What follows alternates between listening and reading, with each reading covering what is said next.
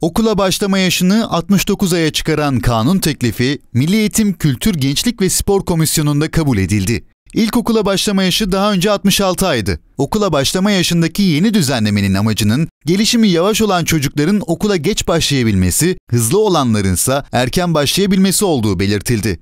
Okula başlama zamanı 2012'de getirilen 4 artı 4 artı 4 sistemiyle birlikte 72 aydan 60 aya düşürülmüştü. O dönem okula başlayan çocukların sıkıntı çekmesi üzerine yasada düzenleme yapılmış ve ailenin isteği olursa 66 ayda okula başlanabileceği uygulaması getirilmişti.